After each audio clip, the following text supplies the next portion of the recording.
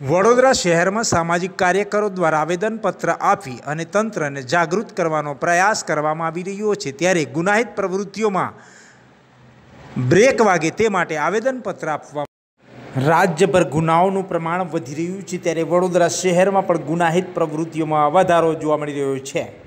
વડોદરા શહેરમાં મહિલા, બાળકીઓ, વૃદ્ધો અસુરક્ષિત જોવા મળી રહ્યા છે. વડોદરા શહેરમાં ગુનાહિત કાર્ય જેમ કે છેડતી, મર્ડર, બળાત્કાર, ચોરી, લૂંટ, છેતરપિંડી તેમજ સાયબર ક્રાઇમમાં પુષ્કળ પ્રમાણમાં વધારો જોવા મળી રહ્યો છે. વડોદરા શહેરમાં ગુનાહિત કાર્યો થતા હોય છે, પરંતુ કેટલાક પોલીસ સ્ટેશનમાં ફરિયાદ લેવામાં જ આવતી નથી.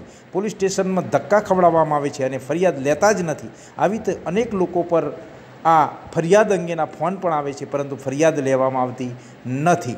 વડોદરા શહેર સંસ્કારી નગરી છે. ત્યારે દેશી દારૂના અડ્ડાઓ ખુલ્લેઆમ ચાલી રહ્યા છે. પરંતુ પોલીસ અજાણ બની રહી હોય તેમ કમલેશ પરમાર સામાજિક કાર્યકર જણાવી રહ્યા છે અને આક્ષેપ કરી રહ્યા છે કે ખુલ્લેઆમ દારૂ વેચાઈ રહ્યો છે, પીવાઈ રહ્યો છે.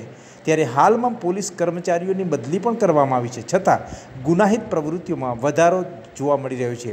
ત્યારે હવે આશા રાખવામાં આવે છે કે હાલમાં જે ઘટનાઓ બની રહી છે તે વડોદરા શહેરને શોભતી નથી. એક તરફ સ્માર્ટ સિટી બનવા જઈ રહ્યું છે વડોદરા, ત્યારે બીજી તરફ ગુનાહિત કાર્યોમાં છૂટો દોર મળી ગયો છે. કેટલાક વિસ્તારોમાં દિવસ દરમિયાન મોટરસાઇકલ ઉઠાંતરી તેમજ અછોડા લૂંટ પણ જોવા મળે છે. અરજી આપવામાં આવે છે. ચોક્કસ તપાસ થતી જ નથી.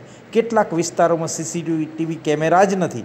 કેટલીક જગ્યાએ આવાવરું છે. ત્યાં લાઇટની પણ વ્યવસ્થા નથી. ટૂંક સમય પહેલાં જ આ અંગે ધ્યાન મહાનગરપાલિકાને દોરવામાં આવ્યું હતું. પરંતુ કોઈપણ જાતની કામગીરી કરી જ નથી. ત્યારે સત્ય છે કે પોલીસ કર્મચારીઓ દ્વારા ધક્કા ખવડાવવામાં આવે છે અને ફરિયાદ લેવામાં આવતી નથી. કોઈપણ પોલીસ સ્ટેશનમાં હોય, જો અચિંતી મુલાકાત લેવામાં આવે, તો તમને સાચી માહિતી મળશે.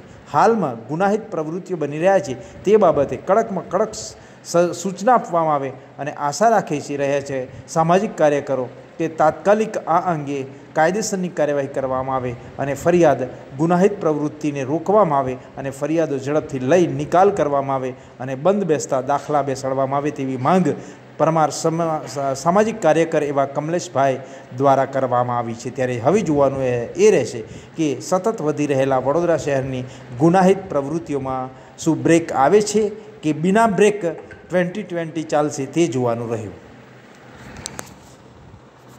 આવેદન.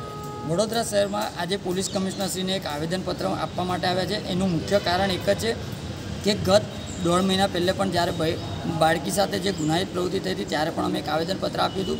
આજે ફરીથી આવેદનપત્ર આપ્યું એનું મુખ્ય કારણ અને મુખ્ય હેતુ એક જ છે કે વડોદરા શહેર સંસ્કારી નગરી છે, પરંતુ સંસ્કારી નગરીની અંદર નગરજનો સુરક્ષિત નથી.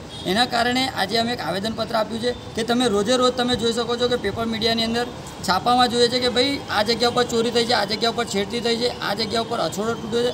આવી બધી જે ઘટનાઓ બને છે અને ત્યારબાદ જ્યારે કોઈક અરજી આપવા એફઆઈઆર કરવા જાય છે, ત્યારે એમને કહેવામાં આવે છે કે ભાઈ તમારી અરજી લેવામાં આવશે. પરંતુ અરજીનો કોઈપણ જાતનો નિકાલ આવતો નથી. એટલે આજે અમે પોલીસ કમિશનર સાહેબને એક રજૂઆત કરી છે કે જે પણ ગુનાહિત પ્રવૃત્તિ થતી હોય તો તેને તાત્કાલિક ધોરણે એની એફઆઈઆર નોંધવામાં આવે અને જે પણ ગુનાહિત કરનારા લોકો છે તેને તાત્કાલિક ધોરણે પકડવામાં આવે તેવી માંગણી સાથે રજૂઆત કરવા માટે આવે છે. અને ગત વખતે પણ જે અમે સીસીટીવી કેમેરાની વાત કરી હતી, ત્યારે પણ અમને આશ્વાસન આપ્યું હતું કે ભાઈ અમે તાત્કાલિક ધોરણે સૂચનાઓ આપીશું. પરંતુ આજ દિન સુધી કામ નથી થયું. એટલે આજે ફરીથી એક આવેદનપત્ર આપવા માટે આવે છે અને અમારી માંગણી વહેલામાં વહેલી સંતોષાય તેવી અમારી માંગ સાથે આજે રજૂઆત કરી છે. શું નામ છે પરમાર કમલેશ સામાજિક કાર્યકર.